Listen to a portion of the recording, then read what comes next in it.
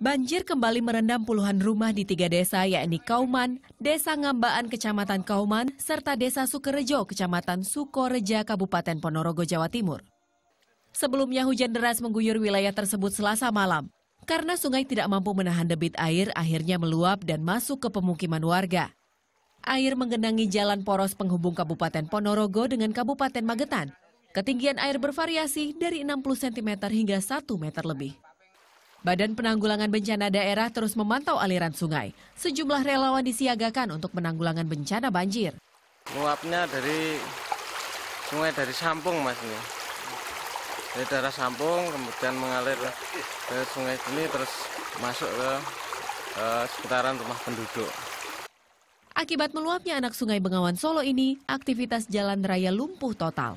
Warga yang terjebak di tengah-tengah banjir terpaksa berputar arah melintasi daerah Madiun. Adirianto, Sony Misdananto melaporkan.